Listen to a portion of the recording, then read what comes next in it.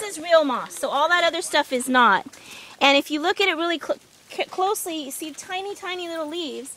And moss is only ever that big because it doesn't have veins. So it's a non-vascular plant. It's one of the first ones that would have evolved from algae. So we, you know, algae, green algae is the ancestor of land plants. The most primitive kinds of land plants are the mosses. So they have to absorb all their water from the surface of their leaves. So once they then evolved veins in them, then they were able to get taller because they can move the water from the ground up into the tree, up into the plant and back. So those are the most ancient ones. The next ones would be the ferns. So ferns are now vascular, they have veins, but they don't have seeds. So the next evolutionary step was to actually have seeds.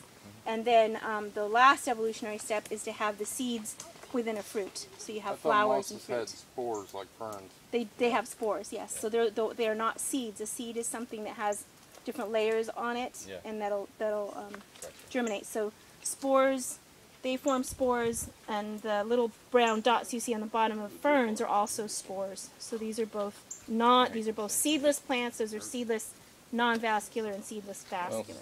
some of the mosses, if you've seen pictures, grow like antennas, and the spores will be up on top Yeah. like a flag. So the that's the um the, the you have little male and female plants, and the, the the males release sperm. That sperm has to swim through water to get to the female plants, and the egg is contained at the top of the little plant. And then once the egg in the female is is fertilized, then the little plant a plant grows out of the other plant.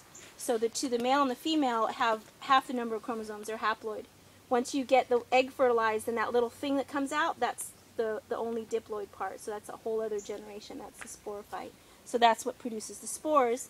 The spores then goes through my, meiosis, and the spores are, are haploid again, and you get haploid little little mosses. Cool.